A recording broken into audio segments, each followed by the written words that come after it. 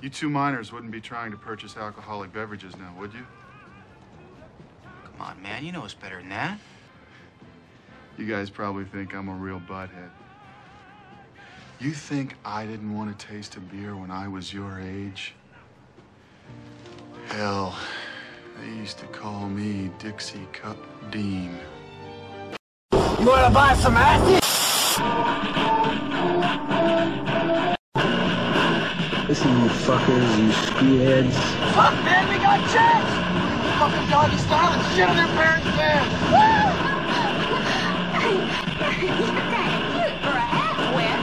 I'm working my chest, I'm working my triceps, I'm working the back of my calves, and I'm working my heart, and I'm working my lungs. I'm working my buttocks. Uh, I tell you what, Steve King, why don't you just take your mama home some chicken, and then I won't have to stuff my boot all up in your ass. Man, you are one crazy motherfucker. But it's all Go home to your mother. Doesn't she ever want you? Tell her this isn't some communist daycare center. Tell your mother I hate her. Tell your mother I hate you. Student buddies, welcome to. Eat shit and die, Ricky! Well, Professor Dave will certainly feel that way if he ever sees this.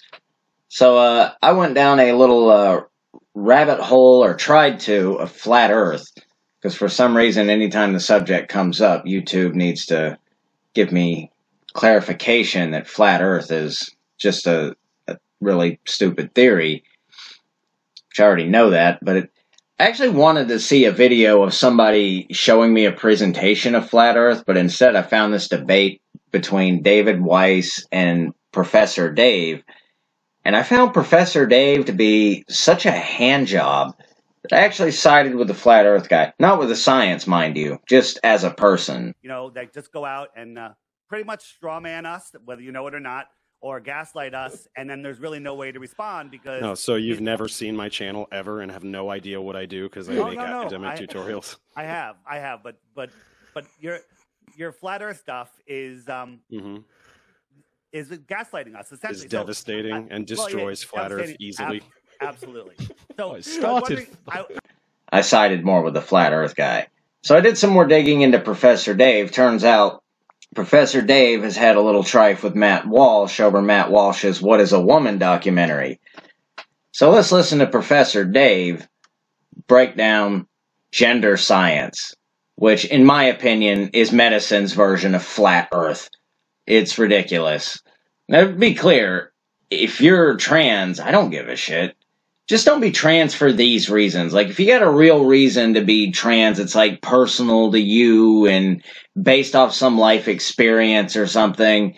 I ain't one to say. All right. But if you start telling me all this horse shit, I'm not gonna, I'm not buying into it. All right.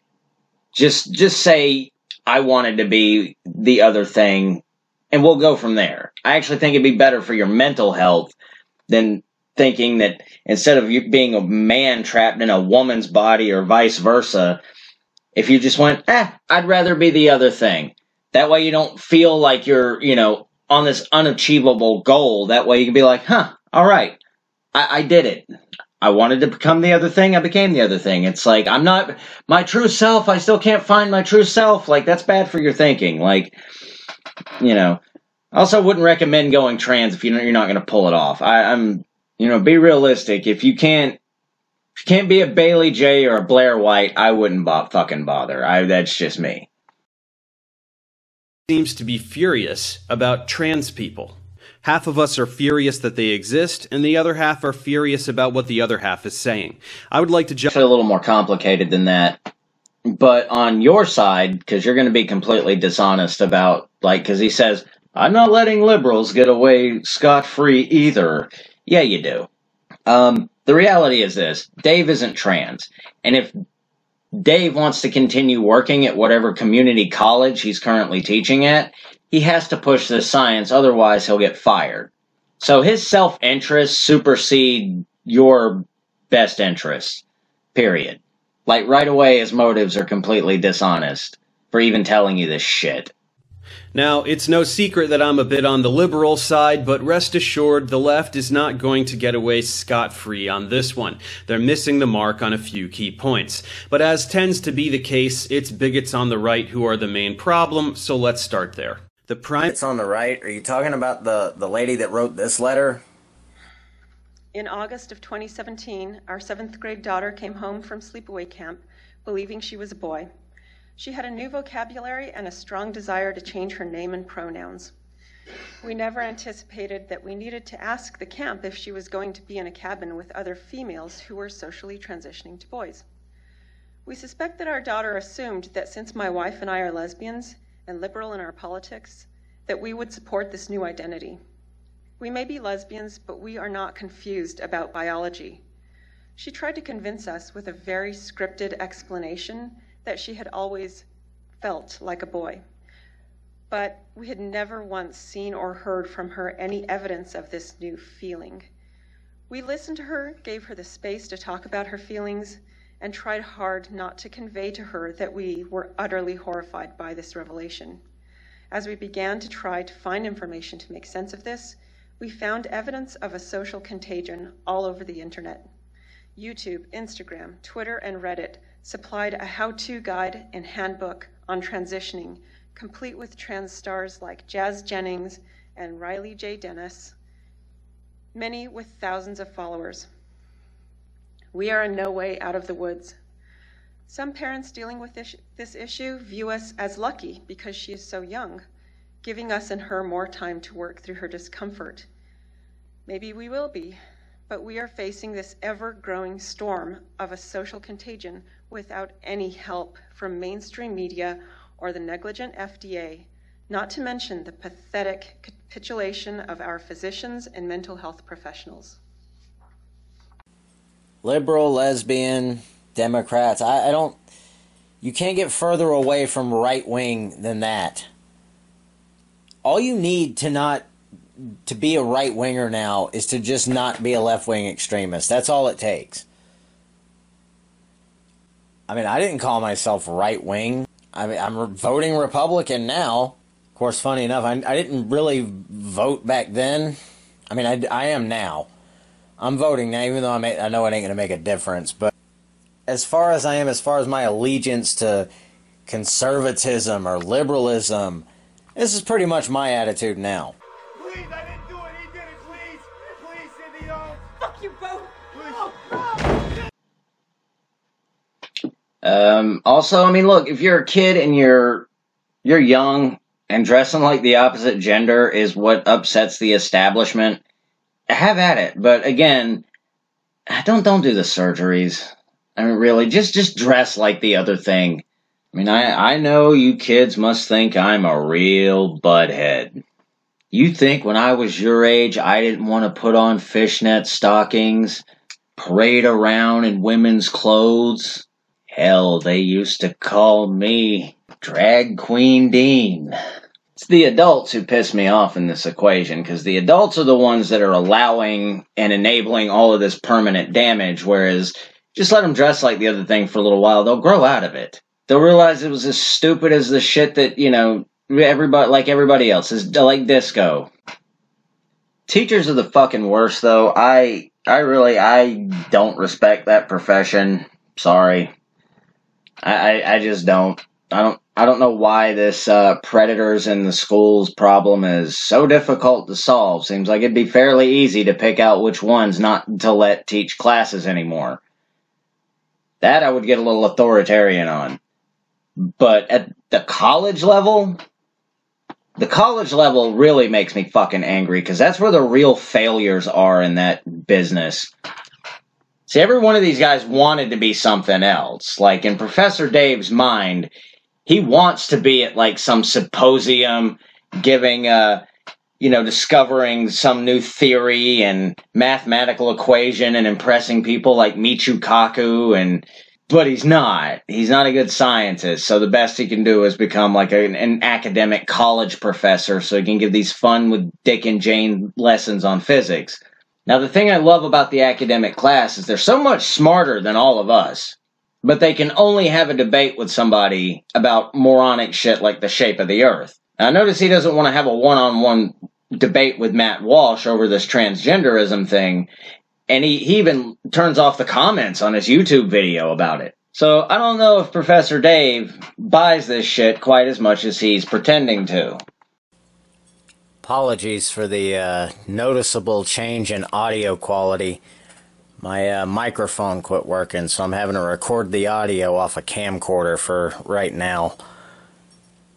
Uh, just ordered another one, but for right now, We ain't got no fucking microphone. This shit's a pain in the ass too. I hate doing it this way. the main problem, so let's start there. The primary issue is people who deny transgenderism.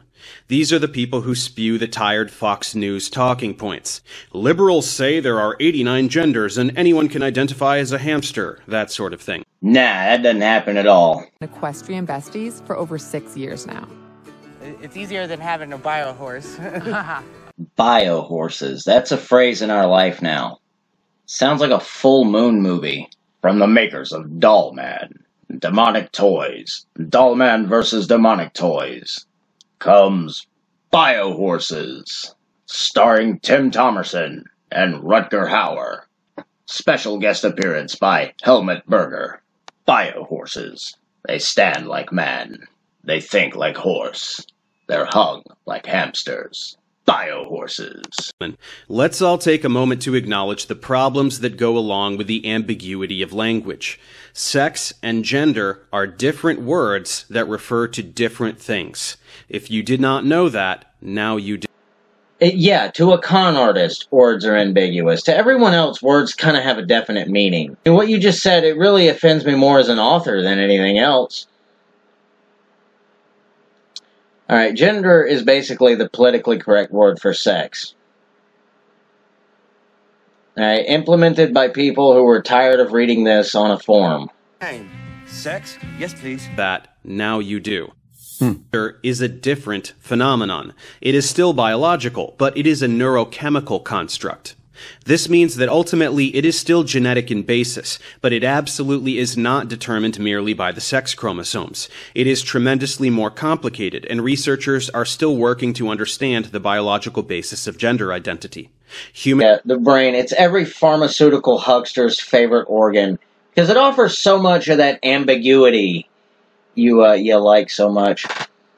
Uh, bullshitting people about how fucked up a lung or a kidney is that, that's kind of impossible because you know the damage is visible. But the brain, yes, the holders of your thoughts and personality and whatever the fuck a soul actually is. Yes, mostly what it does is power all of the other shit that is operating your body. That's why whenever the brain is damaged, there's like a physical side effect that goes with it.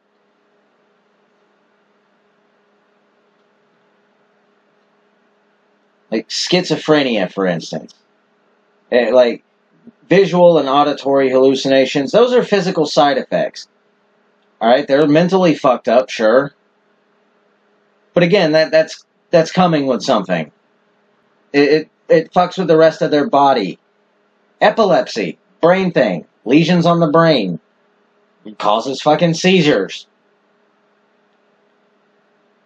And you ever notice that uh, people with Down syndrome all look like they have the same dad? Cerebral palsy, another one. Brain damage causes the fucking your arm to not open and all sorts of other weird shit. And if what he's asserting with this drawing is true, and the brain interprets itself as female, then why is why do they never show why do they need so much help? Why don't the physical side effects of the body upping its own estrogen wouldn't that just happen on its own? Wouldn't they be malformed from birth? I'd love to ask Dave this, but he, he leaves the comments on this subject anyway. He'll go round and round with you about the shape of the earth, the color of the sky, the number of fingers and toes a person is supposed to have. Well, maybe not. But if this was a condition caused by the brain and neurochemical uh, misfirings that make you think the uh, make the brain think that its body is in the opposite gender and what it is, then wouldn't the body respond in kind by growing facial hair or some form of breast? Maybe malformed breasts?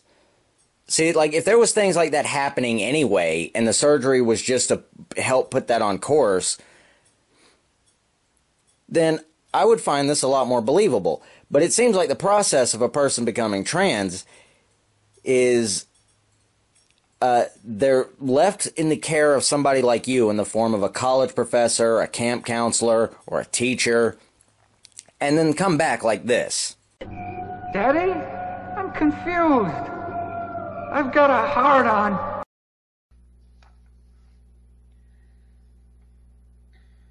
My daughter, age 14, at age 14, spontaneously decided she is actually a male. After suffering multiple traumatic events in her life and spending a large amount of time on the internet, she announced that she was trans. Her personality changed almost overnight, and she went from being a sweet, loving girl to a foul mouthed, hateful, pansexual male. And I've got boxes of this shit sitting in my office. Alright, not to come off like a condescending prick here, but these are not pictures of the inside of somebody's brain. These are animations of the inside of somebody's brain. They they didn't send a camera in there and take you know photos. And yeah, you know that. But see the whole man- part of the manipulation with these types of presentations is you innately know that, but at the same time, by the time they're done, you, they've you've tricked yourself into thinking you've seen the inside of somebody's brain. You haven't. This is an animation. And the little lightning bolts are just doing whatever the hell uh, Professor Dave wants to tell you they're doing. I mean, he could actually show CAT scan results, like real ones, like actual readings from, you know, medical stuff, but he doesn't. Because, see, even though we wouldn't know what the hell that is either, we could still go learn. Somebody who does CAT scans or whatever, like administers them for a living, would know how to read that and could refute it. But if you show an animation and just kind of broadly brush over how it kind of works, then that's that that's good enough for most average people, or at least for their target audience who already want to think that they're trans or want to believe the science anyway. Alright, not to come off like a condescending prick here, but these are not pictures of the inside of somebody's brain. These are animations of the inside of somebody's brain. They they didn't send a camera in there and take you know photos. And yeah, you know that but see, the whole man- part of the manipulation with these types of presentations is you innately know that, but at the same time, by the time they're done, they've you've tricked yourself into thinking you've seen the inside of somebody's brain. You haven't. This is an animation. And the little lightning bolts are just doing whatever the hell uh, Professor Dave wants to tell you they're doing. I mean, he could actually show CAT scan results, like real ones, like actual readings from, you know, medical stuff, but he doesn't. Because, see, even though we wouldn't know what the hell that is either, we could still go learn. Somebody who does CAT scans or whatever, like administers them for a living, would know how to read that and could refute it. But if you show an animation and just kind of broadly brush over how it kind of works, then that's that that's good enough for most average people, or at least for their target audience, who already want to think that they're trans or want to believe the science anyway. But you see, in the end, this just relies on our faith in the science. Because they're relying on the same things, Professor Dave and the Flat Earth guy. See, we can't, we don't have a rocket in the backyard we could put David Weiss in, fly him up there real quick and go, see, it's round. And then he'd have to go, shit, it is. Same deal here. We can't unscrew a kid's head and look at it and go, yeah, you're right. That is a female brain in there. Sorry, Scotty. We're changing your name to Serena. Get the scissors. Let's cut his nuts off. It's just weird that nature is suddenly making this mistake all over the place now. See, that would be worth looking into if this is some sort of because if it's happening in the brain, it's a physical malady. So, why all of a sudden is this happening? I mean, again, I don't care if you're trans as long as I don't know, is there some kind of story attached to it like you had abusive parents like that poor Jazz Jennings kid? Cuz I have all the sympathy in the world for Jazz Jennings. I just think her parents belong in prison. Maybe you were an asshole when you were a kid and you and your friends were picking on this boy and you know, he climbed up a tree trying to get away from you and he fell out and broke his neck and just like I can't go on through the rest of this life with the the identity of that mean little kid that you know that killed poor Billy Mancini. So I became, you know, a new person, a new identity. I can't I couldn't look at that guy in the mirror anymore. All right. Or we can just go super simple. I went out with my friends to a, a gay bar. We caught a drag show. It looked like a blast, and next thing I know, I, I'm just hanging out here with a bunch of trannies and doing drag shows. I just fell in love with it. I love making costumes, and I'm just going to live my whole life in a costume because I love it that much. I'll take any of that over this horse shit right here. Tired of people saying they're doing things because, ah, my me- I'm fucked up mentally. I can't control what I do. All this does is and I'm not just talking about transgenderism. I'm talking about all of them. ADHD, ADD, uh, Asperger's. They're all fucking nonsense. All you do when you tell people they have this these disorders, they just go, oh, "Okay, well, I won't correct any of my asshole behavior." Uh, since how we just call that like you know bipolar mood swing disorder. Uh, I used to just get called a dickhead, but that's all right. Now that I'm, I've, I've got this long, complicated medical diagnosis behind my shit personality. That just means everybody's got to tolerate me. Let me go around and just do whatever I want. Sorry, retarded. Oh, that's okay then. Don't know any better. Oh, bless your heart. Jeez, didn't you hear me a second ago? I'm retarded. The reason that we are just now becoming equipped to differentiate between the two phenomena is that in the vast majority of humans, somewhere between 99 and 99.9% of all people, gender identity aligns with biological sex. Yeah, I really don't feel like non transgender people need a new term to define them. Plus, this is a slur. This is sneaky smart guy bullshit, okay? Like the uh they they try to say that this is rooted in Greek language. Bullshit. I mean, maybe it is, but you chose that for a reason, and it's not because of its historical significance. You chose it because the it's the suffix so so many slurs that you like to call people who are, you know, the the bigots on the right, if you will.